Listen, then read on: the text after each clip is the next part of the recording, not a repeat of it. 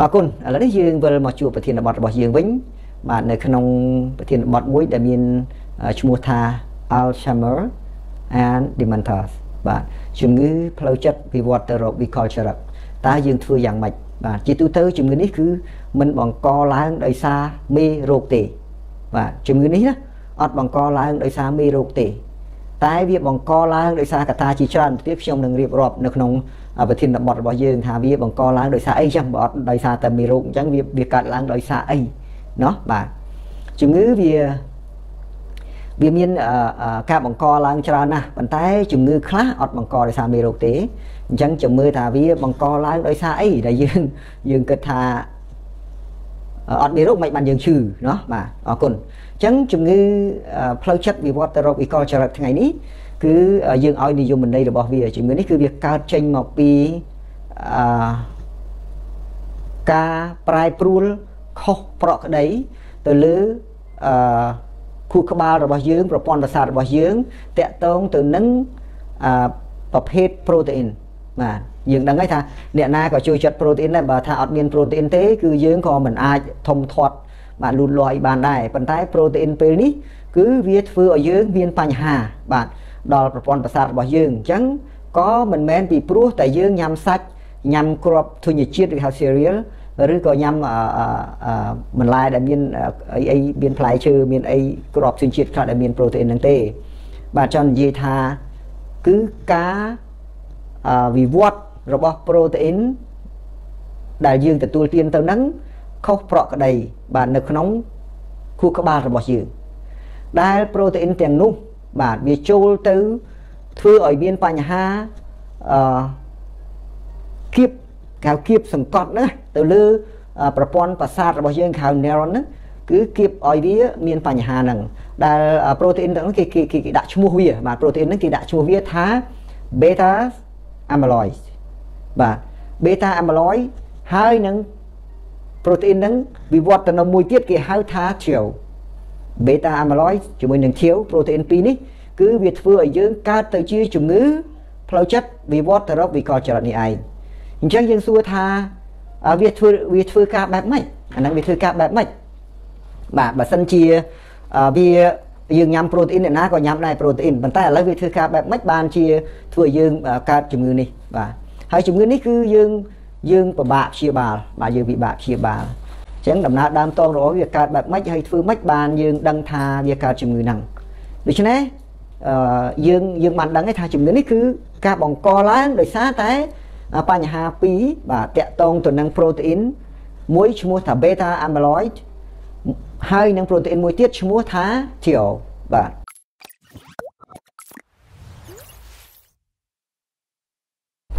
អញ្ចឹង beta amyloid ជាមួយ tau នោះវាធ្វើការបែបម៉េចបានឲ្យយើងកើត នៅក្នុងខួរក្បាលរបស់យើងមនុស្សពេញវ័យវាមានប្រព័ន្ធប្រសាទគេហៅប្រព័ន្ធប្រសាទហៅថា neuron បាទភាសាបច្ចេកទេសគេហៅ neuron neuron នេះនៅក្នុងមនុស្សពេញវ័យដែលយើងសบายចិត្តដែលយើងរីករាយដែលយើងអីហ្នឹងគឺមានដំណើរការរបស់ប្រព័ន្ធប្រសាទគេហៅ healthy neuron ហ្នឹងគឺប្រព័ន្ធប្រសាទធម្មតារបស់យើងដែលវាដំណើរការល្អហ្នឹងរហូតដល់ទៅ100 billion បាទ100 billion ប្រព័ន្ធប្រសាទល្អណាស់ណា បាទដែលវាវាដំណើរការព្រមគ្នានឹងធ្វើឲ្យយើងមានអារម្មណ៍ភ្លឺថ្លាអារម្មណ៍សប្បាយរីករាយគិតអីក៏ចោះធ្លុះធ្លាយអីយើងរៀនសូត្រអីហ្នឹងគឺវាដំណើរការម្ដងម្ដងហ្នឹងគឺដំណើរការប្រព័ន្ធប្រសាទនៅក្នុងខួរក្បាលមនុស្សពេញវ័យមានរហូតដល់ទៅ100 billion មិនមែន million ទេណាបាទ billion បាទ100 billion ហ្នឹងវាដំណើរការព្រមគ្នាទាំងអស់ហើយប្រព័ន្ធប្រសាទទាំងនោះវារស់បានបាទដែលវាវាវាផ្ដល់ព័ត៌មានបាទទៅឲ្យខួរក្បាល ហើយវាក៏ឆ្លើយតបពីខួរក្បាលមកតាមរយៈប្រព័ន្ធប្រសាទហ្នឹងឲ្យមុខយើងស្រស់ស្រាយឲ្យអាអញ្ចើមយើងមិនខ្ញងឲ្យអារម្មណ៍របស់យើងសบายរីករាយភ្លឺថ្លាហ្នឹងគឺវាបញ្ជូនទៅខួរក្បាលហើយខួរក្បាលបញ្ជូនវិញតាមរយៈប្រព័ន្ធប្រសាទអស់នឹងឯងគេហៅថា neuron ហ្នឹងបើសិនជាយើងអត់មានជំងឺ Alzheimer ឬក៏ dementia នេះវាវាវាដំណើរការព្រមគ្នាល្អណាស់បាទ អញ្ចឹងគ្រប់គ្នាទាំងអស់ដែលយើងមានអារម្មណ៍សុបាយមានអត់មានខ្វល់ខ្វាយអីនឹងយើងសុបាយហ្នឹងពេលនោះយើងត្រូវគិតថាប្រព័ន្ធប្រសាទនៅក្នុងខួរក្បាលមនុស្សពេញវ័យរបស់យើងនេះទាំង100 billion ប្រព័ន្ធប្រសាទជាងហ្នឹងគឺវាធ្វើការរហូតបាទវាធ្វើការឲ្យយើងសុបាយរីករាយមានវាធ្វើការល្អវាព្រមគ្នាវាអត់មានបញ្ហាអីមួយទេអាហ្នឹងហ្នឹងយើងមានសុខភាពល្អក៏ប៉ុន្តែនៅពេលណាដែលយើងវិវត្តទៅកើតជំងឺផ្លូវចិត្តនិងវិវត្តទៅរោគជំងឺគេហៅ Alzheimer ឬក៏ dementia នេះ ប្រព័ន្ធប្រសាទរបស់យើងមួយចំនួនវាមិនវាមិនមែនទៅម្ដងទាំងអស់ទេណាបាទប្រព័ន្ធប្រសាទរបស់យើងមួយចំនួន ដែលផ្ដល់ព័ត៌មានទៅឲ្យខួរក្បាល ហើយត្រឡប់ព័ត៌មានពីខួរក្បាលមកវិញឲ្យយើងធ្វើសកម្មភាពផ្លូវចិត្តរបស់យើងសប្បាយញញឹមញែមអីហ្នឹងវាចាប់ផ្ដើមមានបញ្ហាឡើងប្រព័ន្ធប្រសាទទាំងអស់ហ្នឹងគឺវារស់បាន បាទវារស់បាន ដោយសារតែអ្វីដោយសារតែឈាមបាទ ទៅចិញ្ចឹមវាបាទទៅចិញ្ចឹមកោសិកាប្រសាទទាំងនោះទៅចិញ្ចឹម neuron ហ្នឹងបាទហើយកាលណា neuron ហ្នឹងមានមានសមត្ថភាពរស់បានដោយសារតែសរសៃឈាមជញ្ជូនបាននៅ nutrient ជូនសារជាតិចិញ្ចឹមទៅឲ្យជញ្ជូនបាននៅអុកស៊ីហ្សែនទៅឲ្យបាទក៏ប៉ុន្តែនៅពេលដែលយើងចាប់ផ្ដើមកើតជំងឺ Alzheimer ឬក៏ជំងឺ dementia នេះវាចាប់ផ្ដើមមានប្រូតេអ៊ីន2ដែលខ្ញុំនិយាយមិញហ្នឹងគឺប្រូតេអ៊ីនមួយ ប្រូតេអ៊ីនមួយក្រុមដែលមានឈ្មោះថា beta amyloid ហើយនឹងប្រូតេអ៊ីនមួយទៀតដែលមានឈ្មោះថា tau បាទ beta amyloid ទាំង tau នេះវាមានដំណើរខុសគ្នាជាមួយនឹងប្រព័ន្ធប្រសាទរបស់យើងដំបូងឡើយគឺការបោនឡើង បាទការប្រមូលផ្ដុំឡើងវាវាស្អិតជាប់គ្នារវាងប្រូតេអ៊ីនដែលមានឈ្មោះថា beta amyloid នៅក្រៅប្រព័ន្ធប្រសាទរបស់យើងនៅពីក្រៅវារុំព័ទ្ធខ្ញុំឧទាហរណ៍ដូចជាបញ្ញាក្អែកលោកអ្នកដែលស្គាល់ដើមបញ្ញាក្អែកទេ ដើមបញ្ញាក្អែកនៅពេលដែលវាមកទុំនៅមែកឈើណាមួយវាចាប់ផ្ដើមទុំនៅពីខាងក្រៅសម្បកហើយវាក៏ចាប់ផ្ដើមរីកឫសរបស់វាលូតលាស់ព័ទ្ធជុំវិញ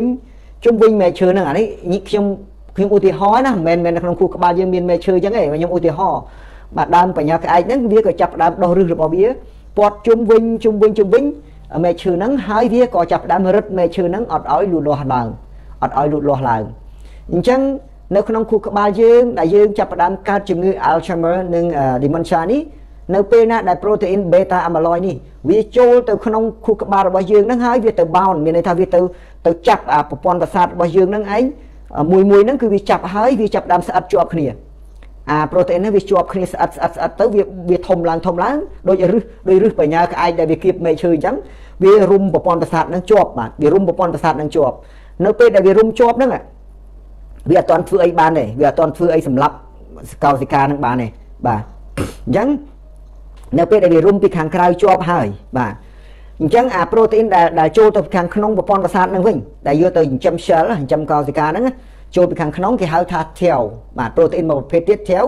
tail នឹងឯងคล้ายទៅជា triangle បាទទៅទៅប្រឆាំងនឹងនឹងអាអាកោសិកាខាងក្នុងប្រព័ន្ធប្រសាទនឹងទៀតបាទអញ្ចឹងអាមួយរុំពីក្រៅអា មួយទៀតចូលទៅខាងក្នុងវាក៏ចាប់ផ្ដើមបោនបន្តទៀតបាទអញ្ចឹងពីក្រៅក៏គៀបពីក្នុងក៏ក៏ក៏ដុំធំរីកចេញមកវាធ្វើឲ្យប្រព័ន្ធប្រសាទហ្នឹងដាច់អាហារដាច់ស្បៀងបាទដាច់ស្បៀងមិនអាចចិញ្ចឹមកោសិកាប្រសាទនឹងបានដាច់អុកស៊ីហ្សែនមិនអាចចិញ្ចឹមកោសិកាបាន នៅពេលណាដែលវារីកកាន់តែច្រើនបាទអា build up បាទវាវា build up អា beta amyloid ហ្នឹងកាន់តែកាន់តែច្រើនហើយអាអាគេហៅ tau បាទវា triangle កាន់តែខ្លាំងវារីកកាន់តែធំ អញ្ចឹងអាមួយរឹបពីខាងក្រៅអាមួយរីកពីខាងក្នុងបាទដើម្បីធ្វើធ្វើផ្ដាច់ផ្ដាច់សេដ្ឋកិច្ចដល់ប្រព័ន្ធប្រសាទនៅក្នុងខួរក្បាលរបស់យើងនៅពេលដែលដែលវាផ្ដាច់សេដ្ឋកិច្ចទៅនឹងឯងវាអត់មានឈាមទៅចិញ្ចឹមកោសិកាហ្នឹងវាអត់មានចំណីទៅដល់កោសិកាប្រសាទហ្នឹងកោសិកាប្រសាទហ្នឹងយ៉ាងម៉េចលោកអ្នកសាកគិតមើលប្រសិនបើយើងយកកស៊ូមករឹតម្រាមដៃយើងឲ្យជាប់ហើយយើងទុកវាមួយថ្ងៃ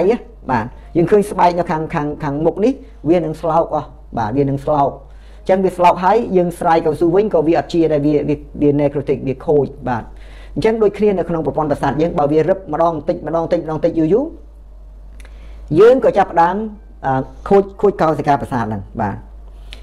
បាទសូមជួយ like share ផងណាលោកអ្នកបាទទាំងទាំងបានទាំង14អ្នកបាទ14រូបដែលបានទស្សនាបាទជួយ like និង share ផងខ្ញុំកំពុងតែនិយាយអំពីដំណើរនៅក្នុងគូក្បាលសិនហើយចាំខ្ញុំជំរាបជូនថាវាមានអាការៈបែបម៉េចដំណើរដើមតងវាទៅម៉េចបើសិនជាវាចាប់ផ្ដើមឡើងយើងត្រូវដឹងមុនបាទអញ្ចឹងណាបាទអញ្ចឹងនៅពេលដែលដែលដែល beta amyloid protein ជាមួយនឹងជាវបាទវាចាប់ផ្ដើមគៀបរឹតទៅលើប្រព័ន្ធប្រសាទប្រព័ន្ធប្រសាទយើងមិនមែនមានមួយណាដូចខ្ញុំនិយាយមកអញ្ចឹងណាវាច្រើនជាង100 billion បាទ អញ្ចឹងវាម្ដងម្ដងតិចម្ដងតិចទៅលើលើលើខួរក្បាលរបស់យើងហ្នឹងឯងដល់លើប្រសាទរបស់យើងហ្នឹងអញ្ចឹងទាំងអស់វាចាប់បាទវាចាប់ចាប់ចាប់ចាប់ច្រើនប្រព័ន្ធប្រសាទនៅពេលដែលប្រព័ន្ធប្រសាទវាចាប់ផ្ដើមអត់មានចំណីប្រសាទចាប់ផ្ដើមមិនងាប់មកគេហៅថា dead បាទវាងាប់ទៅនៅពេលនៅពេលដែលវាដែលទៅវាងាប់ទៅ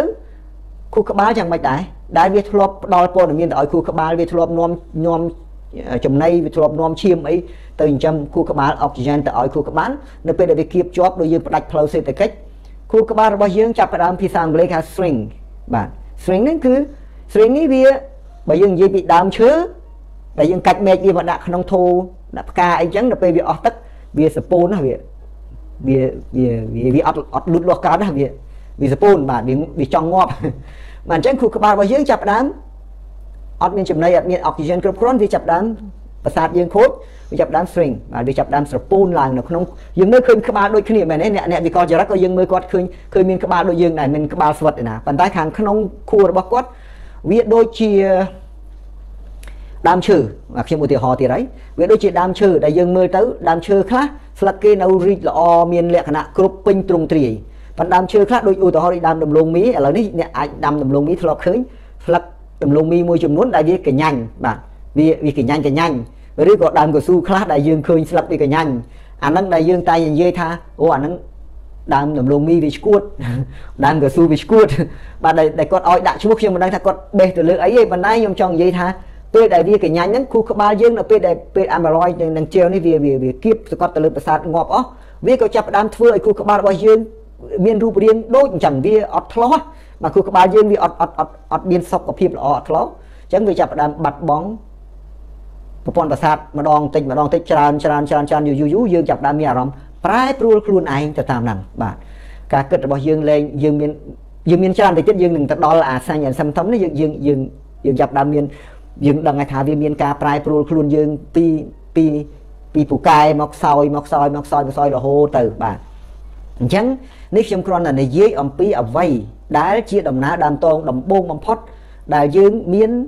អឺមិត្តភ័ក្តិមានបងប្អូនឬក៏មានសាច់ញាតិរបស់យើងខ្លួនយើងដែលអ្នកមើលបន្តនឹងអាចសង្ស័យខ្លួនឯងដែរថាវាអាចមានរឿងនេះកើតឡើងនៅក្នុងគូក្បាលរបស់យើងអញ្ចឹងហើយមានអ្នកខ្លះគាត់មានវិកលចរិតដែរប៉ុន្តែគាត់គាត់គាត់បាត់តែមួយចំណែកណាទេមិនមែនមួយចំណែកណាគាត់នៅធ្វើល្អដូចយើងបាន អាហ្នឹងដោយសារតែវាចាប់ផ្ដើមពីតំបន់ណាមួយនៃខួរក្បាលរបស់គាត់នឹងឯងបាទអញ្ចឹងសួរថាចុះបើយើងទៅវះកាប់ខួរក្បាលគាត់យកមកបកវាចេញបានអត់បើសិនតែយើងមើលវាអត់បានពីព្រោះប្រព័ន្ធប្រសាទវាតូចមើលមិនឃើញនឹងភ្នែកផងអញ្ចឹងអាការបោនឡើងរបស់គេហៅ protein beta amyloid ជាមួយនឹងធាវនេះគឺវាវាធ្វើឡើងនៅក្នុងប្រព័ន្ធប្រសាទនឹងទៀតអញ្ចឹងយើងពិបាកនឹងនឹងវះកាត់ធ្វើម៉េចជួយឲ្យបានណាអញ្ចឹង នេះគឺជាដំណើរដើមតងដំបូងគេដែលធ្វើឲ្យយើងកើតទៅជាជំងឺផ្លូវចិត្តវិវត្តទៅរកវិកលចរិតបានដែលខ្ញុំតែនិយាយកាលពីខ្ញុំនៅក្នុងកម្មវិធីដំណោះស្រាយវិបត្តិបាទនៅក្នុងវិទ្យុបាទហ្នឹងយើងមានអ្នកសួរច្រើនដែរតាក់ទងនឹងអាអារឿង stress ណាបាទអញ្ចឹងហើយពេលដែលវាចាប់ផ្ដើមហ្នឹងគឺវាធ្វើឲ្យយើងមានអាការៈប្រែប្រួលខុសប្រក្រតីមានមានន័យថាអារម្មណ៍របស់យើង ខួរក្បាលរបស់យើងចិត្តរបស់យើងគិតនឹងវាវាប្លែកពីពីធម្មតាហ្នឹងបាទវាប្លែកពីធម្មតាបន្តិចទៀតយើងនឹងចូលទៅដល់កន្លែងហ្នឹងខ្ញុំនឹងជំរាបប្រាប់ថាវាខុសធម្មតាបែបម៉េចដែលយើងគិតថាយើងនឹងវិវត្តទៅកើតជំងឺ Alzheimer និង dementia នេះបាទអញ្ចឹងឥឡូវលោកអ្នកដឹងហើយថានៅក្នុងខួរក្បាលរបស់យើងនេះយើងមើលទៅឃើញទលាធំដូចគ្នាប៉ុន្តែនៅខាងក្នុងរបស់វាមិនដូចគ្នាទេបើយើងយក ក្បាលអ្នកដែលគាត់កើតជំងឺ Alzheimer និង dementia ឬក៏វិកលចរិតហ្នឹងយកមកដាក់ចិត្តយើងយើងឃើញក្បាលដូចគ្នាហើយបានគាត់មានមានអារម្មណ៍មានស្មារតីគិតទៅចុះខាងក្នុងរបស់ខួរក្បាលរបស់គាត់ហ្នឹងវា string វាវាវាខូចហ่ะវាវាបើយើងបើយើងយកខួរមកប្រៀបធៀបគ្នាវាខួរហ្នឹងគឺវារីកលូតលាស់ដូចយើងទេគឺវាស្វិតវាស្វិតអស់បាទយើងហៅស្វិតចឹងមកណាបាទវាស្វិតអស់បាទប៉ុន្តែវាមិនមែនអស់សោះណានៅតែមានខួរក៏អាប្រព័ន្ធប្រសាទវាស្វិតអស់ទៅ វាមើលទៅវាខុសពីខួរដែលមានសុខភាពល្អអញ្ចឹងការគិតកាយរបស់គាត់គឺវាខុសប្រកដីទៅតាមអ្វីដែលប្រសាទរបស់គាត់ខូចនឹងឯងដំណាក់កាលរបស់វានឹងហើយបាទនេះគឺជារឿងដែលអឺយើងទាំងអស់គ្នាពេលយើងឃើញអ្នកអញ្ចឹងណាយើងអាណិតគាត់មកខ្ញុំពេលខ្ញុំជួបគាត់ខ្ញុំអាណិតខ្ញុំតែផ្ដល់ឲ្យអីឲ្យគាត់ហូបអីអញ្ចឹងអាហ្នឹងខ្ញុំយល់ពីរឿងដំណើរបាទគាត់គ្មានចង់អញ្ចឹងទេបាទប៉ុន្តែវាទៅជាអញ្ចឹង បាទវាដំណើរការប្រព័ន្ធប្រសាទរបស់គ្នាបញ្ជាឲ្យគ្នាទៅបែបហ្នឹងបាទហើយកុំឲ្យស្អប់គ្នាអីបាទតែរាងកាយរបស់គាត់អាចនៅមមួនដែរណាអ្នកខ្លះបាទគាត់ណាប្រព័ន្ធប្រសាទគ្នាខូចតែរាងកាយកម្លាំងរបស់គាត់នៅរឹងមាំដែរអញ្ចឹងក៏រស់បន្តទៅបាទចឹងហើយឥឡូវបានយល់ហើយណោះតកតងទៅនឹងដំណើរដើមតងនៃការវិវត្តរបស់ខួរក្បាលប្រព័ន្ធប្រសាទយើងនៅក្នុងខួរក្បាល ដែលវាធ្វើពីសុខភាពល្អរហូតដល់ខួរក្បាលរបស់យើងស្រីងស្វិតបាទដែលយើងវិវត្តទៅវិកលចរិតហ្នឹងអញ្ចឹងហើយមកពីប្រូតេអ៊ីន2ហ្នឹងមកពីរក្រុមហ្នឹងមានបេតាម៉ាឡុយជាមួយនឹងជែវបាទនេះជាភាសាបច្ចេកទេសខ្ញុំអត់ដឹងបកវាប្រែវាថាម៉េចពីព្រោះភាសាបច្ចេកទេសគេដាក់ឈ្មោះវាអញ្ចឹង ចឹងគ្រាន់ប្រាប់ថាហ្នឹងជាប្រភេទនៃប្រូតេអ៊ីនដែលវាចូលទៅក្នុងខួរក្បាលរបស់យើងបើយើងធម្មតាវាអត់ដុំអញ្ចឹងទេប្រូតេអ៊ីនហ្នឹងចូលទៅវាអត់ដុំគៀបប្រព័ន្ធប្រសាទដូចរឹសបញ្ញាក្អែកអញ្ចឹងទេគឺវារាយរាយដែលវាអាចឲ្យខួរក្បាលរបស់យើងមានសុខភាពល្អចាប់យកទៅប្រើប្រាស់បានប៉ុន្តែពួកនេះអត់ទេចូលទៅគឺវាផ្ដុំគ្នាម្ដុំម្ដុំវាគៀបរឹបជាប់មកគៀបរឹបប្រព័ន្ធប្រសាទរបស់យើងជាប់ដើម្បីឲ្យប្រព័ន្ធប្រសាទរបស់យើងងាប់ដោយបញ្ញាក្អែករុំមេឈើអញ្ចឹងរុំយូរយូរដើមឈើហ្នឹងវាងាប់ដូចគ្នាបាទខ្ញុំឧទាហរណ៍ទេណាបាទ អាហ្នឹងវាអញ្ចឹងបាទហ្នឹងវាអញ្ចឹងបាទឥឡូវយើងត្រឡប់ទៅបន្តទៀតណាបាទអញ្ចឹងតើវាមានអីកើតឡើងប្រសិនបើជំងឺនេះវាចាប់ផ្ដើមទៅលើនរណាម្នាក់យើងសម្គាល់មិនបានយើងដឹងថាគាត់អាចកើតជំងឺ Alzheimer និងជំងឺ dementia នេះណាជំងឺប្រសាទហើយវិវត្តទៅរកជំងឺផ្លូវចិត្តបាទតាមពិតទៅជំងឺហ្នឹងវាផ្ដើមចេញមកពីអាការៈដំបូងគេហ្នឹងគឺ stress បាទ stress ហៅថា stress ហ្នឹងអ្នកហៅ stress អ្នកអីខ្មែរយើងតាមពិតគេហៅ stress បាទ stress បាទ stress ហ្នឹងគ្រប់គ្នាទាំងខ្ញុំទាំងលោកអ្នកសុទ្ធតែធ្លាប់ជួបទាំងអស់ហ្នឹងប៉ុន្តែមិនមែន stress ហ្នឹងវាកើតទៅជាជំងឺផ្លូវចិត្តហ្នឹងទេគ្រាន់តែជាការចាប់ផ្ដើមឡើងបាទជាការចាប់ផ្ដើមឡើងឥឡូវយើងទៅមើលអឺខ្ញុំមិនអាចនិយាយឲ្យឲ្យឲ្យគ្រប់ទាំងអស់ហើយនៅក្នុងហ្នឹងប៉ុន្តែខ្ញុំចង់និយាយថាអ្វីដែលយើងអឺ នាំយើងទៅរកអាហ្នឹងចំណុចសំខាន់សំខាន់ណាណាបាទអាជំងឺផ្លូវចិត្តនឹងសំខាន់សំខាន់យើងអាចយកមកពិចារណាបានបាទអញ្ចឹងយើង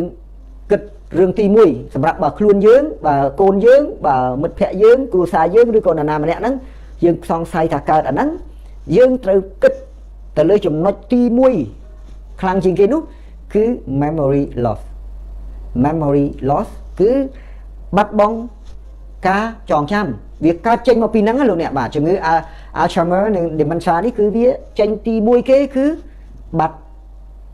ការចងចាំបាទ memory loss memory loss គឺបាត់ការចងចាំយើងឃើញថាគាត់នឹងរៀនបកកាយបកកាយបកកាយបកកាយណាប៉ុន្តែពេលចាប់ផ្ដើមអាហ្នឹងវាចាប់ផ្ដើមអា beta amyloid និង atrial នេះវាចាប់ផ្ដើមធ្វើឲ្យមានបញ្ហាប្រព័ន្ធប្រសាទរបស់គាត់គាត់ចាប់ផ្ដើមធ្លាក់ចុះហ្មង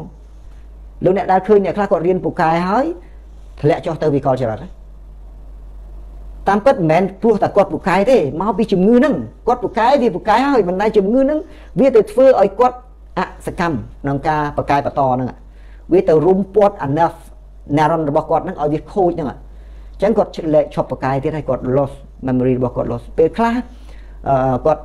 គាត់អត់ដឹងខ្លួនទៀតគាត់អត់ដឹងខ្លួនថាគាត់ loss ទេបើណែយើងយើងមើលឃើញហ្នឹងគាត់បកាយតែធ្លាក់ដល់បាតដីបាទអញ្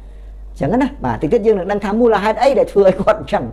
បាទតិចទៀតយើងដឹងប៉ុន្តែខ្ញុំចង់និយាយថាអាសញ្ញាដំបូងវាហ្នឹងគឺវាអឺមានអាអាចំណុចដែលយើងទៀមផ្ទាត់មួយហ្នឹងគឺ memory loss គឺបាត់ការចងចាំបាទបាត់ការចងចាំរបស់គាត់មិនបាត់ទាំងអស់ហើយបន្តិចម្ដងបន្តិចម្ដងបន្តិចម្ដងបន្តិចម្ដងសម្គាល់ឃើញគាត់ចឹងហ្នឹងទី1បាទទី2អាថាចំណុចសំខាន់សំខាន់អាហ្នឹងបាទអឺ គាត់ដូចគេហៅថាអត់ហ៊ានគាត់ភ័យខ្លាចហ្មងគាត់អត់ហ៊ានធ្វើការសម្រេចចិត្តអីហ្មងបាទអញ្ចឹងណាបាទអញ្ចឹងនៅពេលដែលដែលគាត់បាត់ការចងចាំហើយគាត់គាត់អត់មានភាពក្លាហាន ក្នុងការសម្រេចចិត្តបាទធ្វើអីមួយមកគាត់គាត់ភ័យខ្លាចហ្មងគាត់គិតថាខ្លួនគាត់មិនអាចធ្វើអីបានហ្មងគាត់ចាប់ផ្ដើមអញ្ចឹងហ្មងហ្នឹង បាត់បាត់ការចងចាំហើយគាត់មានអារម្មណ៍ថាភ័យខ្លាចគាត់មិនហ៊ានសម្រេចចិត្តធ្វើអីទេបាទអញ្ចឹងអាហ្នឹងក៏យើងគិតថាអាចតាក់ទងនឹងរឿងនឹងដែរមនុស្សធ្លាប់ក្លាហានមនុស្សធ្លាប់ពូកែស្រាប់ធ្លាក់មកដល់កន្លែងនឹងក្រឹបអាហ្នឹងសិតតាយើងត្រូវ note ណាគាត់គាត់ចំណាំវាបាទបាទថាអាហ្នឹងវាអាចអីកើតចឹងអត់ណោះយើងយើងយើងយើងចាប់អារម្មណ៍ហើយពី3ហ្នឹងដែលយើងមើល បាទពេលខ្លះទៀតបាទវាកើតឡើងដោយសារការគៀបសង្កត់ទៀតបាទយើងមើលឃើញគាត់អាចថាគាត់ចាប់ផ្ដើមមានបាត់ការចងចាំគាត់ចាប់ផ្ដើមមិនហ៊ានធ្វើការសម្រេចចិត្តគាត់ភ័យខ្លាចហើយអឺអាអ្វីដែលវាមកគៀបសកត់រុំពាត់គាត់ទៀតហ្នឹងគឺអាអ្វីអ្វីដែលគាត់ធ្លាប់បានធ្វើទាំងអស់ហ្នឹងវាទៅជាលែងដឹងលែងទទួលខុសត្រូវលែងធ្វើអីកើតហ្មងគាត់អង្គុយញឹមសបាយម្នាក់ឯងអង្គុយអីហ្នឹងអានេះយើងចាប់ផ្ដើមគិតថាអូ វាអាចធ្លាក់ទៅរឿងហ្នឹងបាទនឹងបញ្ហាដែលយើងអាចសម្គាល់មើលទៅលើមនុស្សបែបហ្នឹងទៀតគឺយើងមើលតកតងទៅនឹងការសំណួរដែលយើងសួរគាត់ណាដដែលដដែលបាទយើងយើងសួរគាត់ឲ្យគាត់ឆ្លើយមកវិញយើងសួរអីផ្សេងគាត់ឆ្លើយមកដដែលដដែលបាទមានតែយើងសួរអឺបាយញ៉ាំបាយហើយនៅគាត់ឆ្លើយយើងញ៉ាំរួចហើយបងឯងហូបទឹកឲ្យនៅហូបហើយហើយបងឯងដើរលេងអត់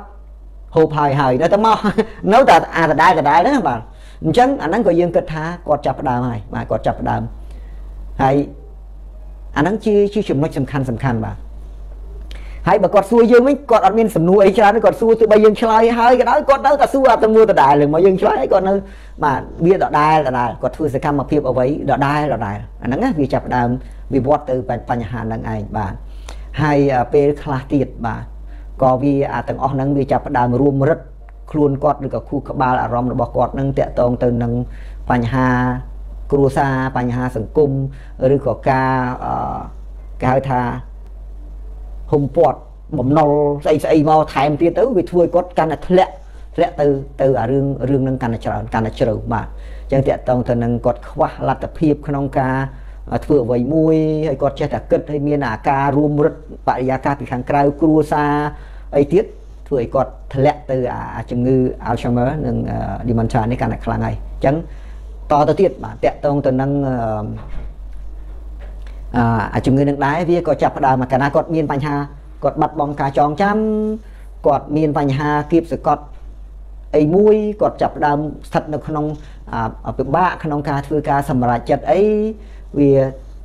គាត់មានអាសញ្ញាហ្នឹងហើយវាធ្លាក់ទៅក្នុងអារឿងទុកលំបាកទុកព្រួយ ដែលគាត់ចាប់ផ្ដើមគាត់ដឹងខ្លះគាត់មិនដឹងខ្លះគាត់ចាប់ផ្ដើមគិតថាអូគាត់ប្រឈមនឹងបញ្ហានឹងកាន់តែធ្ងន់ធ្ងរបាទគាត់ថាគាត់បាត់បង់ស្អីមួយហើយគាត់អត់អត់ព្រមដោះស្រាយវាទេក្នុងអារម្មណ៍គាត់គាត់គិតថាសំបីពេលខ្លះដល់ពេលគាត់ធ្លាក់កើតជំងឺនេះគាត់បាត់តែប៊ិចមួយប៉ុន្តែគាត់ថាដូចអានឹងបាត់ឡានមួយគាត់គិតអត់តែអានឹងអានឹងថាបាត់អានឹងគាត់ចង់បានអានឹងគាត់យកអានឹងមកវិញអានឹងវាធ្លាក់ហើយវាធ្លាក់ទៅលើអាជំងឺនឹងឯងបានវាវិវត្តទៅចឹងអញ្ចឹងយើងត្រូវសម្គាល់ណាបាទសមាជិកយើងក៏ដោយយើងទៅគ្រួសារយើងក៏ដោយខ្លួនយើងក៏ដោយបើសិនជាយើងមានអាចំណុចដែលខ្ញុំរាយរាប់ដំបូងដំបូងនេះណាបាទយើងយើងគិតថាគាត់អាចវិវត្តធ្លាក់ទៅនឹងហើយ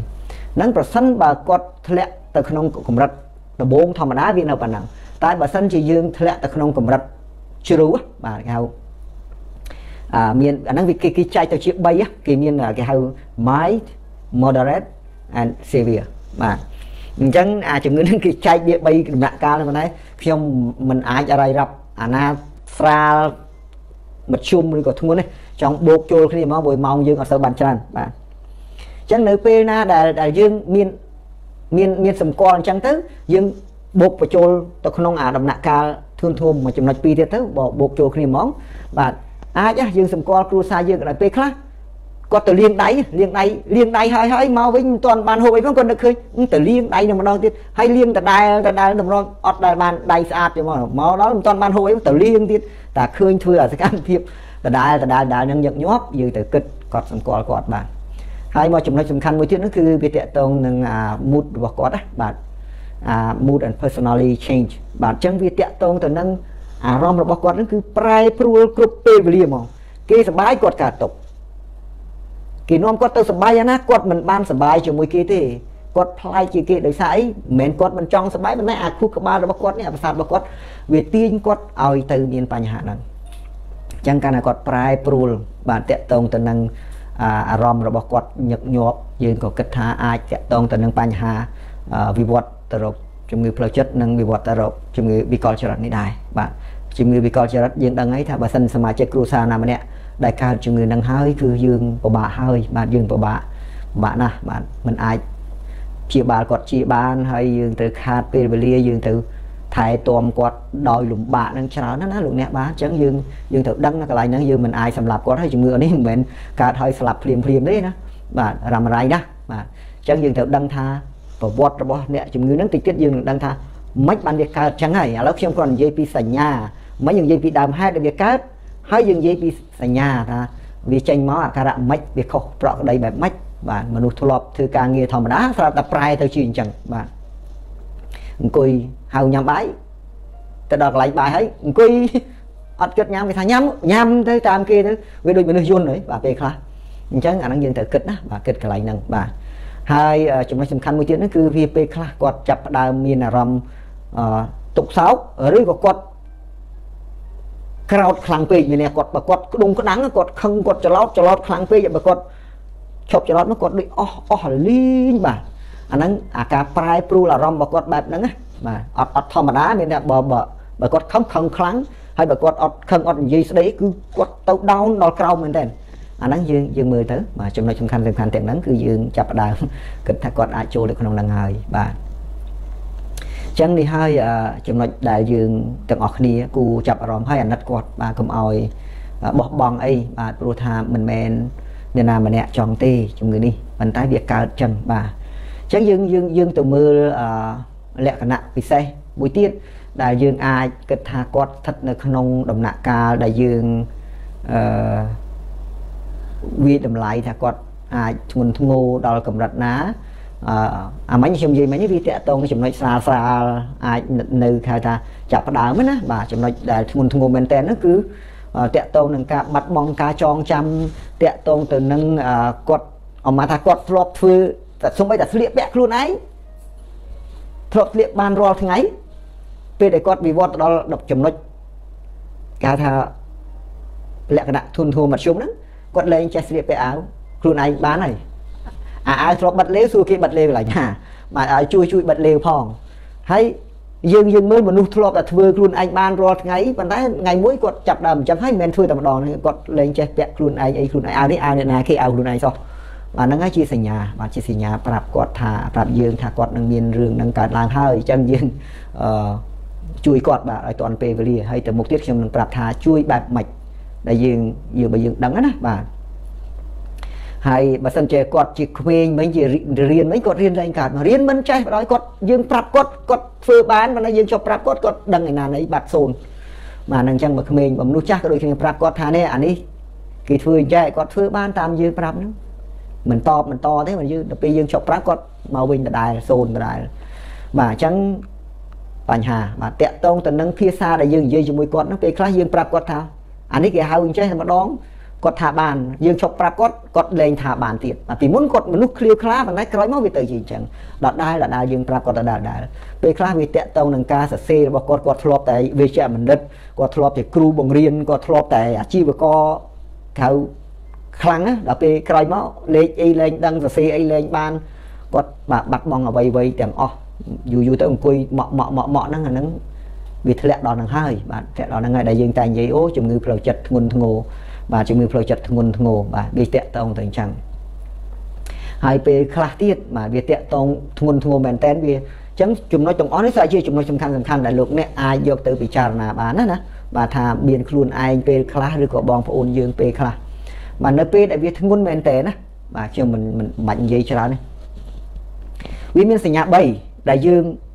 យើងអ្វីដែលខ្ញុំនិយាយមិញគឺ គឺជារឿងត្រួសត្រាសដែលយើងអាចកត់សម្គាល់ច្រើនមិនមិនតអស់ទេប៉ុន្តែវាយើងម៉ោងយើងមិនអាចនិយាយបានច្រើនអញ្ចឹងតកតងនឹងសញ្ញា3សំខាន់ណាស់ដែលយើងអាចថាគាត់កើតជំងឺផ្លូវចិត្តវិវត្តទៅរោគវិកលចរិតនេះទី1ស្អីគេទី1ចំណុចហ្នឹង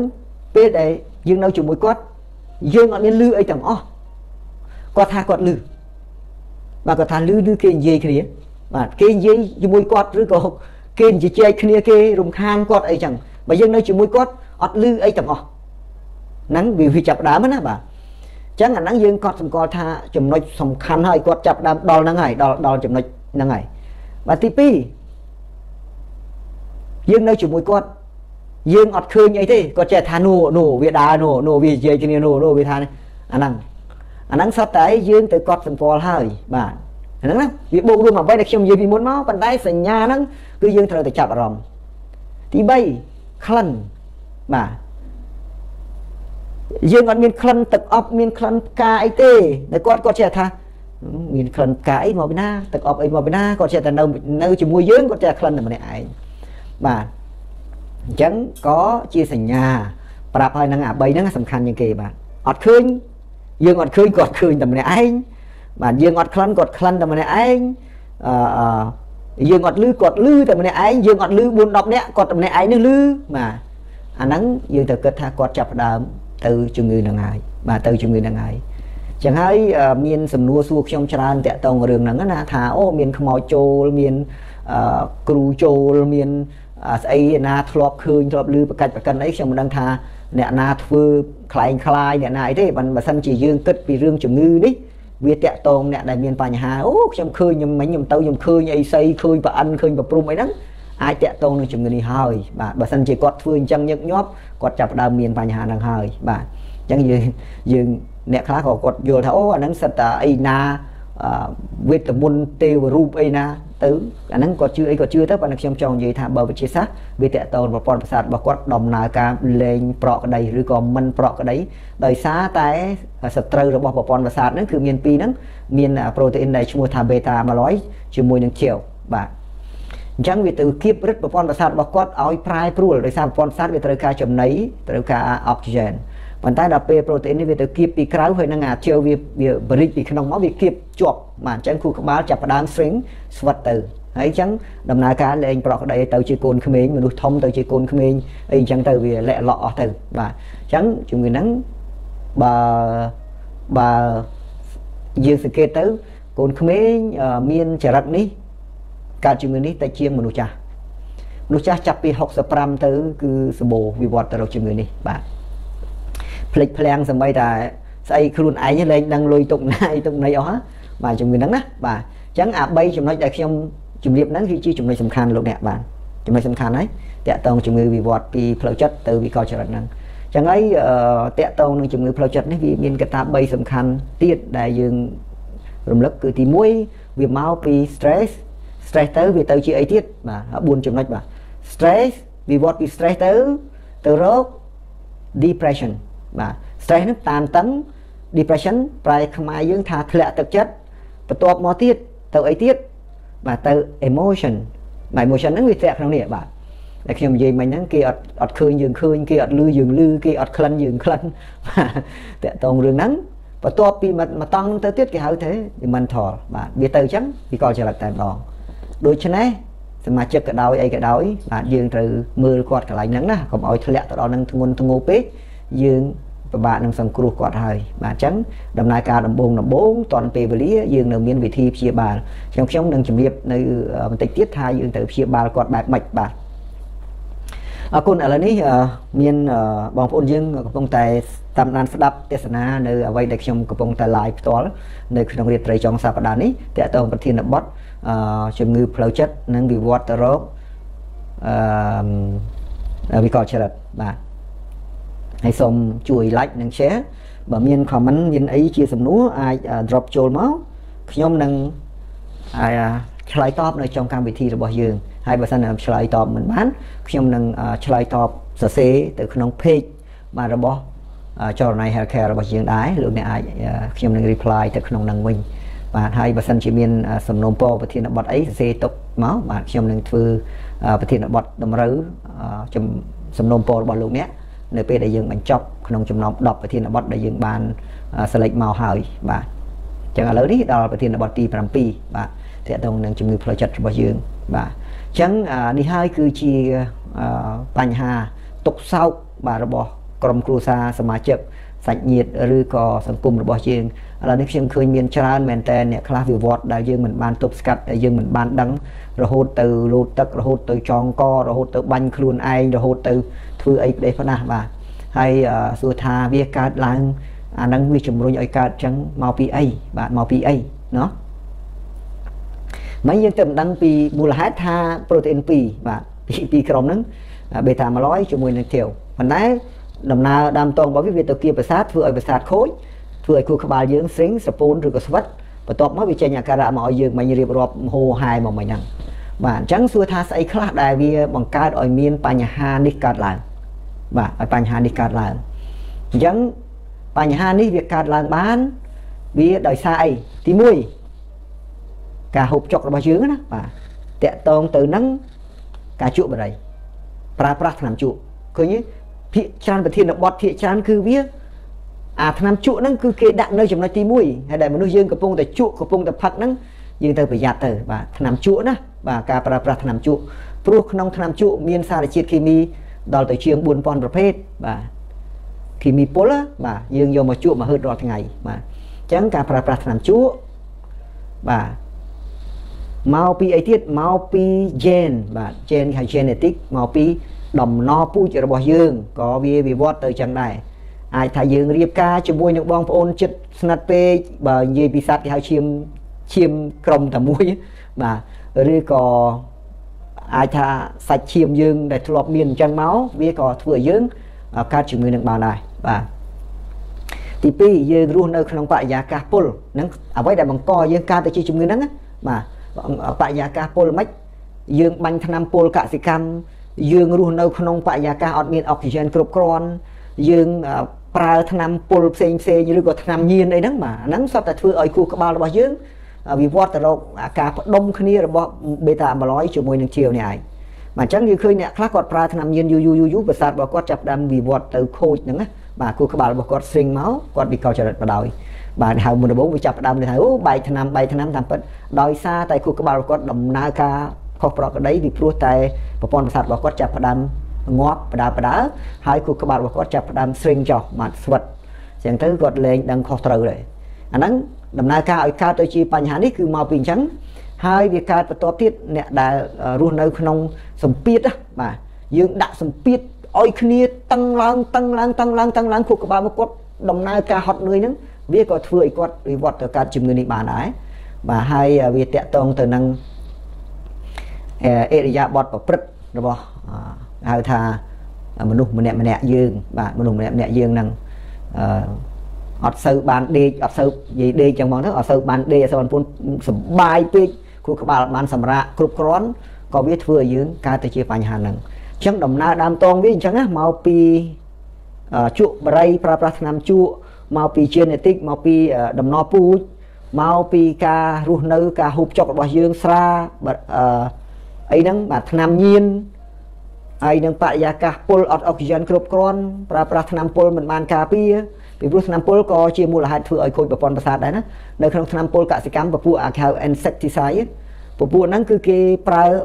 គីមីដែលទៅផ្ដាច់ប្រព័ន្ធប្រសាទរបស់សត្វល្អិតសត្វល្អិតចង្រៃដូចកណ្ដូបដូចអីមកកាត់ដំណាំណាពេលយើងបាញ់ទៅវាហោះទៅណាទៅណីលេងដឹងខុសត្រូវបាទមានវាធ្លាប់ហោះទៅមុខវាមិនទៅមុខវាទៅលើបាទវាទៅណាបុកដីអញ្ចឹងទៅ ដោយសារអាហ្នឹងកាលណាវាត្រូវអាហ្នឹងទៅគឺវាចាប់ផ្ដើមឡើងអឺផ្ដាច់ប្រព័ន្ធប្រសាទទៅវាលែងដឹងថាគោលដៅណាដែលវាត្រូវហោះដូចមុនហើយសាច់ដុំរបស់វាត្រូវគាំងអស់វាដកដង្ហើមអត់រួចក៏វាងាប់ទៅនឹងសារល្អិតតែមនុស្សយើងពេលដែលយើងទៅស្រូបពេលយើងទៅបាញ់អត់បានការពារហ្នឹងវាធ្វើឲ្យប្រសាទរបស់យើងដូចគ្នានឹងអាសត្វហ្នឹងបើគ្រាន់ថាពេលដែលដំបងដំបងវាអត់តណាយូរច្រើនឡើងច្រើនឡើងវាចឹង មិនមែននិយាយហ្នឹងអត់ឲ្យប្រើថ្នាំពុលទេប៉ុន្តែត្រូវតែការពារកុំឲ្យវាដកដង្ហើមចូលដោយថ្នាំហ្នឹងការពារស្បែកយើងដោយប្រើស្បែកជើងកវែងពាក់អាវភ្លៀងអីការពារម៉ាស់អីឲ្យត្រឹមត្រូវស្រោមដៃឲ្យត្រឹមត្រូវហើយមកវិញគឺត្រូវសម្អាតខ្លួនឲ្យស្អាតបាទមុននឹងយើងញ៉ាំអាហារញ៉ាំអីវាអាចដោយវាធ្វើឲ្យយើងកើតទៅជាយ៉ាងដំបូងឡើយវាអត់ទាន់អីទេប៉ុន្តែយូរទៅវាទៅវាក៏ចរិតបានបាទអញ្ចឹងនឹងជាហេតុផលបាទហើយបើសិនជាយើងអត់ចង់កើត បាទអញ្ចឹងមិនយើងដឹងពីមជ្ឈបាយហ្នឹងបើយើងអត់ចង់កើតយើងទៅផ្លាស់ប្ដូរទម្លាប់របស់យើងកុំជក់បរិយកុំញ៉ាំស្រាលើសកម្រិតបាទកាត់បន្ថយការញ៉ាំកាហ្វេហ្នឹងកុំឲ្យវាច្រើនពេកបាទបាញ់ថ្នាំកសិកម្មត្រូវការពារបាទហើយកុំឲ្យរៀបការជាមួយនឹងបងប្អូនសាច់ចិត្តនឹងច្រើនពេកបាទ មានអ្នកខ្លះខ្លាចបែកទ្របហ្នឹងអាបងប្អូនចដូនមួយនឹងគ្នាសោះហ្នឹងយកមកការធ្វើឲ្យកើតទៅជាប្តីប្រពន្ធនៅក្នុងចំណោមហ្នឹងបើតាមវិទ្យាសាស្ត្រស្រាវជ្រាវគេឃើញថាបើយើងធ្វើអញ្ចឹងក្នុងចំណោមសាច់ឈាមរបស់យើងហ្នឹងមកមាត់ដំណហ្នឹងវាអាចមានមួយឬក៏ពីរបាទដែលកើតទៅជាជំងឺហ្នឹងអញ្ចឹងយើងចង់ឲ្យអញ្ចឹងអត់ឥឡូវបងប្អូនខ្លះឥឡូវខ្ញុំមិនដឹងថាឥឡូវកំពុងទស្សនាបានទេបាទជួយ like និង share ផងបងប្អូនខ្លះធ្លាប់ឃើញហើយខ្សែណាមួយដែលយើងរៀបការជាមួយនឹងសាច់ឈាមចដូនមួយចដូនពីរយើងហ្នឹង មកដំណពីរដំណម៉ារីក៏កើតច្រើនអាជំងឺផ្លូវចិត្តវិកលចរិតនេះក៏មានច្រើនដែរនៅក្នុងហ្នឹងហើយកើតមកទៀតពេលខ្លះទៀតកូនកើតមកជាប់អាជានឹងទៅ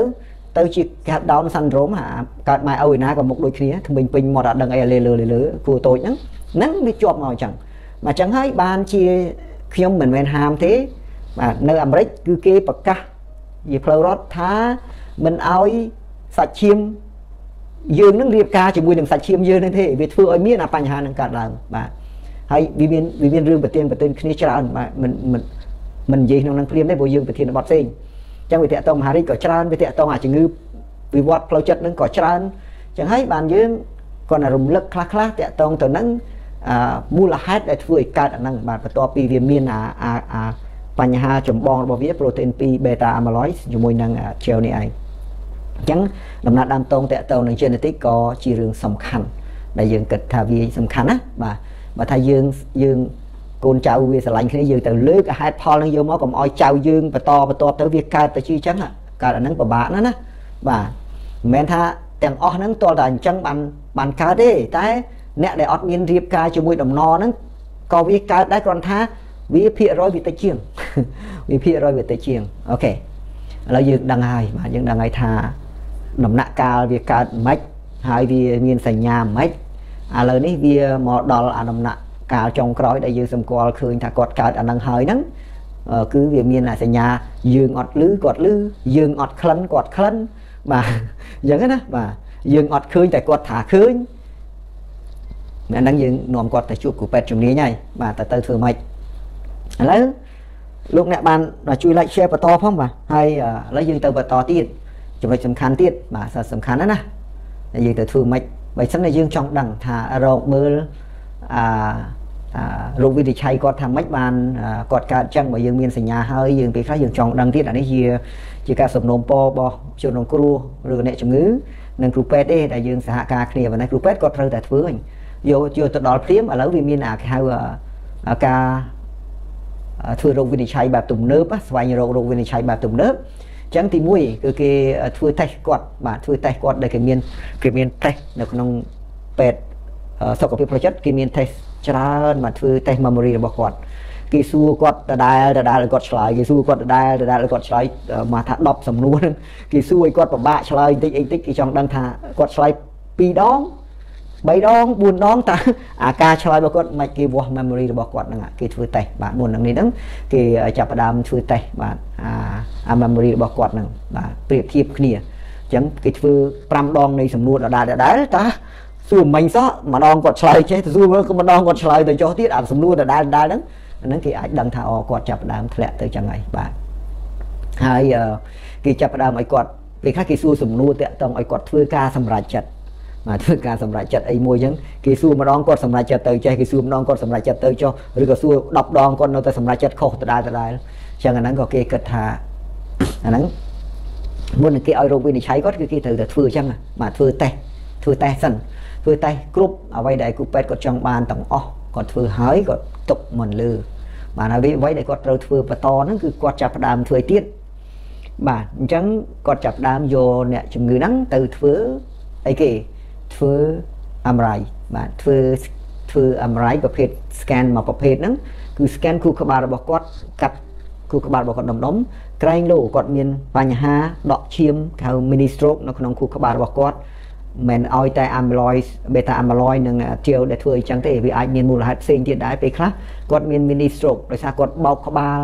ដោយសារគាត់ធ្លាក់ពីដើមឈើគ្រោះថ្នាក់ចរាចរណ៍ឬក៏គាត់ឡើងសម្ពាធឈាមឬក៏គាត់មានទឹកនោមផ្អែមអីផងអញ្ចឹងទៅវាធ្វើឲ្យអាអាឈាមដក់នៅក្នុងខួរក្បាលគាត់តូចតូចហ្នឹងវាធ្វើឲ្យងាប់កោសិកាកន្លែងហ្នឹងដែរអញ្ចឹងគេយកទៅធ្វើអមរៃគឺដើម្បីប្រយោជន៍រកមើលរឿងផ្សេងទៀតដែលវាមានអាការៈទៅស្តៀងនឹងអាជំងឺ Alzheimer និង dementia នេះដែរអញ្ចឹងហើយគ្រូពេទ្យត្រូវតែធ្វើបាទពីព្រោះ ការព្យាបាលខុសគ្នាបើសិនយើងរកឃើញថាគាត់មាន stroke mini stroke អីហ្នឹងយើងត្រូវព្យាបាលបែបអញ្ចេះហើយបើសិនជាគាត់អត់រកអត់ឃើញអាហ្នឹងទេគាត់នៅតែមានអាការៈអញ្ចឹងគឺគាត់ទៅអាប្រភេទ protein ពីរក្រុមដែលវាគៀបប្រសាទរបស់គាត់ហ្នឹងបាទអញ្ចឹងយើងមើលទំហំខួរក្បាលរបស់គាត់សុខភាពខួរក្បាលរបស់គាត់មើលប្រព័ន្ធសរសៃឈាមរបស់គាត់នៅក្នុងខួរក្បាលរបស់គាត់មើលដុំពកនៅក្នុងខួរក្បាលគាត់ដោយប្រើវិធីធ្វើអមរៃបាទ MRI ណាបាទ MRI ហ្នឹងយើងយើងធ្វើវាដើម្បីឲ្យយើងបានដឹងថាអឺខួរក្បាលរបស់គាត់ហ្នឹងវានៅសុខភាពល្អអត់បាទយើងពុះវាអង្គនកនមើលនៅក្នុងម៉ាស៊ីនណាមិនយកមនុស្សមកពុះទេបាទរួចហើយបើសិនជាអត់ទេគេអាចធ្វើ CT scan ក៏បានដែរបាទបើអត់ធ្វើ MRI គេធ្វើ CT scan ហ្នឹងក៏បានដែរដើម្បីអឺស្វែងរករោគវិនិច្ឆ័យបន្ថែមទៀត ទៅលើអ្វីដែលគេបានធ្វើតេស្តកន្លងមកហ្នឹងបាទធ្វើតេស្តគេហៅ memory impairment អញ្ចឹងគេប្រៀបធៀបខួរក្បាលរបស់គាត់ការចងចាំរបស់គាត់ហើយនឹងបូកជាមួយនឹង test ហ្នឹងបានដឹងថាអូគាត់អាចកើតជំងឺ Alzheimer និង dementia នេះឬក៏គាត់មានបញ្ហាសតិមិនគ្រប់គ្រាន់ដោយសារតែគាត់មានកកឈាមក្នុងខួរក្បាលដោយសារអីបាទអញ្ចឹងគេរកមើលដើម្បីធ្វើរោគវិនិច្ឆ័យចុងក្រោយឲ្យច្បាស់លាស់និងព្យាបាលឥឡូវមកដល់ អឺចំណុចមួយទៀតបាទចឹងមកយើងដល់រោគវិនិច្ឆ័យរំលឹកម្ដងទៀតបាទរោគវិនិច្ឆ័យយើងធ្វើរោគវិនិច្ឆ័យគឺយើងមានតេស្តច្រើនស្លឹកដើម្បីសួរគាត់ដែលដែលឲ្យបានច្រើនដងបូកសរុបពិន្ទុមកធ្វើ MRI មកធ្វើ CT scan ដើម្បីដឹងថារោគវិនិច្ឆ័យគាត់បែបម៉េចយើងព្យាបាលអឺទៅតាមអ្វីដែលយើងរកឃើញបាទឥឡូវយើងមកដល់សួរសួរខ្ញុំវិញថាមិនដឹងគាត់មានអ្នកសួរអត់ទេនេះសួរខ្ញុំវិញថាបើសិនជាកើតជំងឺហ្នឹងបាទជំងឺ Alzheimer និងអឺ dementia ឬជំងឺផ្លូវចិត្តវិវត្តទៅវិកលចរិតនេះព្យាបាលកើតអត់ណាមានអាហ្នឹងជាសំណួរដែលលោកអ្នកតែងតែចង់ដឹងហើយក្រោយគេហ្នឹងសួរថាតើព្យាបាលវាកើតអត់បើកើតអញ្ចឹងហើយដំណាក់កាលពេលណាដែលយើងចាប់ដើមព្យាបាលវាកើតបាទតាមពិតទៅជំងឺនេះព្យាបាលអត់ជាទេបាទបើវាកើត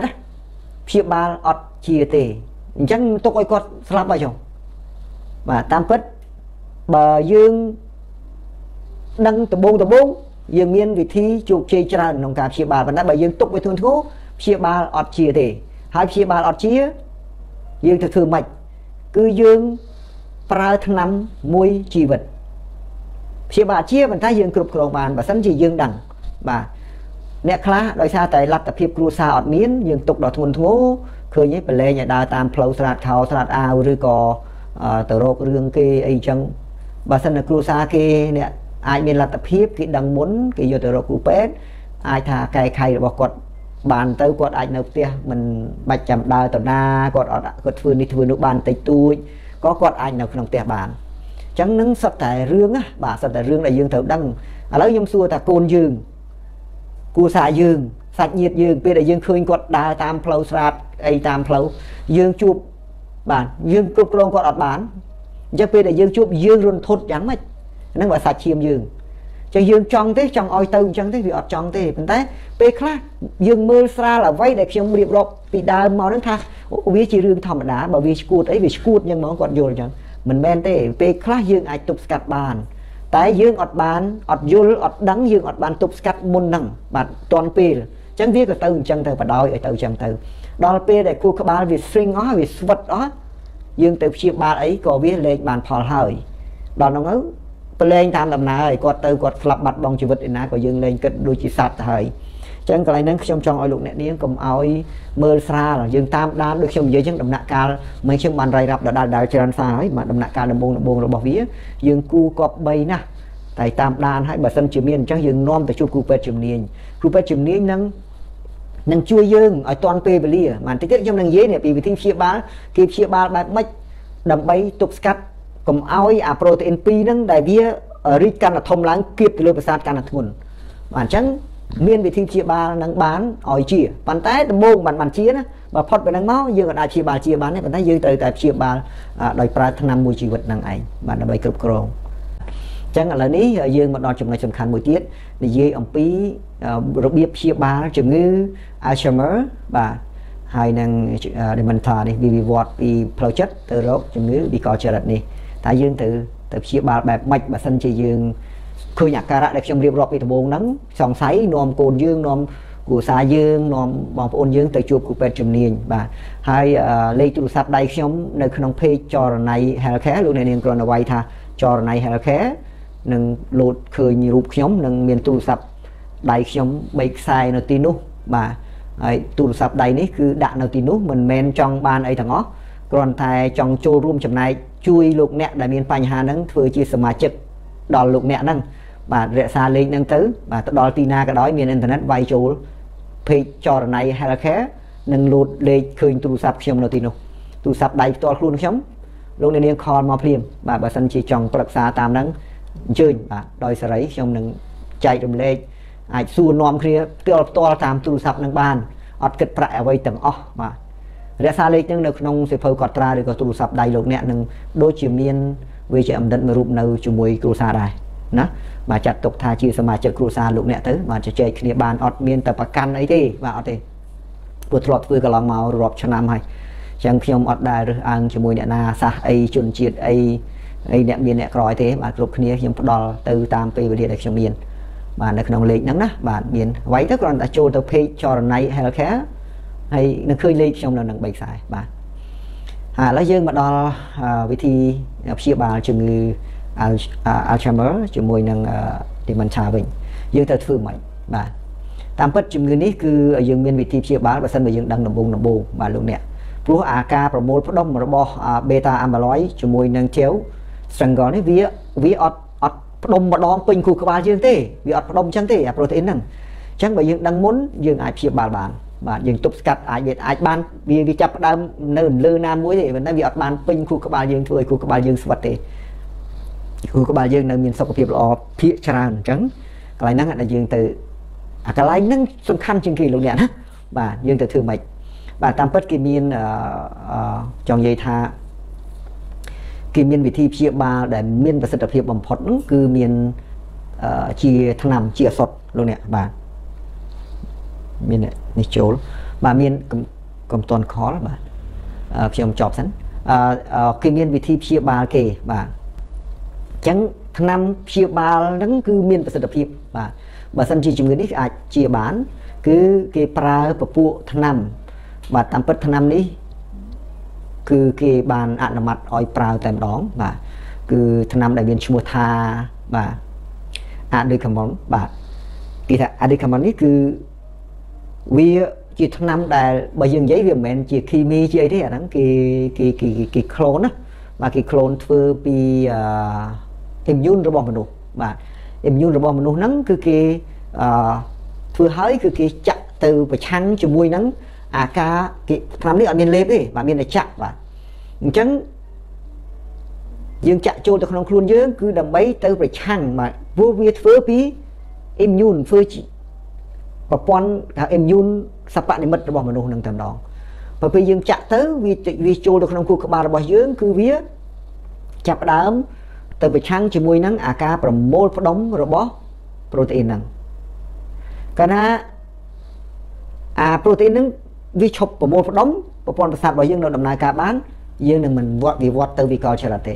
យើងធ្វើអីក៏បានយើងរៀនបានដូចមនុស្សធម្មតាចឹងហើយដំបងដំបងអាហ្នឹងយើងយើងយើងទៅជួបគ្រូពេទ្យដើម្បីយើងរកឲ្យឃើញហើយយើងប្រើអាថ្នាំហ្នឹងឯងបាទប្រើថ្នាំហ្នឹងគេផ្សំឡើងពីមិនមែនមិនមែនគីមីទេ គឺគេផ្សំឡើងពីអឺ immune របស់មនុស្សហើយគេក៏ចាក់ចូលទៅក្នុងខ្លួនរបស់យើងនឹងវិញដើម្បីទៅប្រឆាំងជាមួយនឹង អាការផ្ដុំគ្នារបស់ beta amyloid ជាមួយនឹងអាជាវបាទដើម្បីកុំឲ្យវាគៀបទៅលើប្រសាទយើងហើយធ្វើឲ្យខួរក្បាលរបស់យើងខូចនឹងឯងបាទអញ្ចឹងបើសិនជាខួរក្បាលរបស់យើងលែងខូចប្រសាទរបស់យើងនៅដំណើរការបាន វានឹងវិវត្តមិនវិវត្តទៅរកវិកលចរិតហ្នឹងទេអញ្ចឹងអ្នកដែលមានលទ្ធភាពយើងមានលទ្ធភាពព្យាបាលព្រោះថាអាហ្នឹងវាត្រូវការពេលវេលាត្រូវការ ចំណាយលទ្ធភាពប្រាក់ដែរអាហ្នឹងណាបាទហើយការចាក់នេះគឺយើងចាក់បាទចាក់វារៀងរាល់សប្តាហ៍បាទយើងចាក់រហូតដល់120ដូសបាទ120ដូសបាទក្នុងអ្នកជំងឺម្នាក់បាទអញ្ចឹងបើសិនជា112ទៅ120ដូសហើយយើងយើងចាក់មួយសប្តាហ៍យើងសម្រាប់មួយសប្តាហ៍ចាក់មួយសប្តាហ៍យើងសម្រាប់មួយសប្តាហ៍ចាក់